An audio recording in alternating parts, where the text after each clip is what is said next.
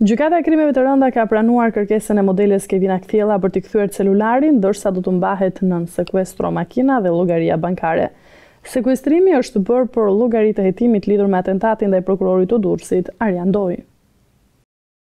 Gjykata e Krimeve të Rënda ka pranuar vetëm një pjesë të kërkesës së modeles Kevina Kthjella duke i kthyer celularin, por jo makinën, ndërsa edhe llogaritë bankare do të vijojnë të jenë të bllokuara. Makina e modeles ende konsiderohet si provë e vlefshme për hetimin. Vendimi është marrë nga gjyqtarja Daniela Shkira te Krimet e Rënda. Modeles iu sekuestrua fillimisht telefoni nga prokuroria në kuadër të hetimeve që po zhvillohen për zbulimin e autorëve të atentatit kundër prokurorit Arian Ndoja. Kevina Kthjella, velinë në një emision televiziv dhe tashmë modele, rezultoi se kishte kontakte të shumta, telefonata e mesazhe me Redian Rrajën, personin që u arrestua nga policia si një nga autorët e dyshuar të atentatit, ku pavarësisht provave bindëse për prokurorinë, tridhjetë e katër vjeçari ka mohuar të ketë lidhje. Kevina Kthjellës iu sekuestrua telefoni dhe u mor në pyetje si person që mund të ketë dijeni për ndonjë konflikt të Rrajës, për shkak se komunikimet e saj kanë qenë të shpeshta, ndërsa mësohet, se gjithçka është zbuluar pas ekzaminimeve